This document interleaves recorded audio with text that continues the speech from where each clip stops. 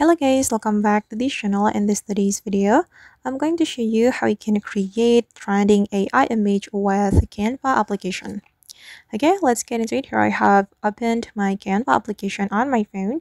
And first thing first, let's just create a new design by clicking on this plus button.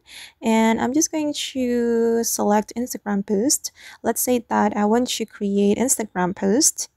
And after that, we have to go to the Canva tools we're going to use the magic media to create the AI image. Click on this magic media option and then you can change um, you can choose your styles right here.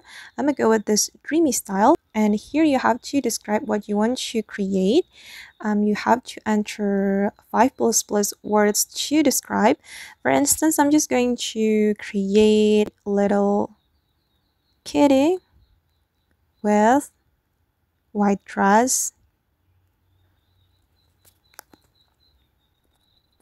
Okay once you're done describing the image you want to create you can click on generate image.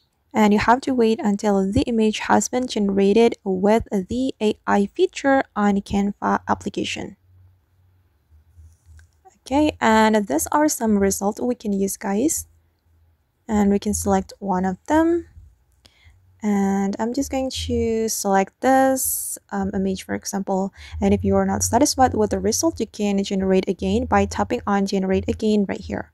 I'm gonna go with this one. I'm going to add this image to my design. Okay and I think it has been added to my design.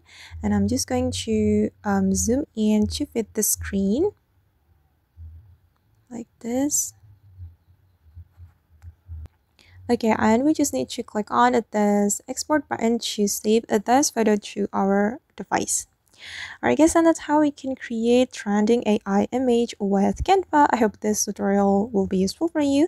Thank you so much for watching and see you in the next video.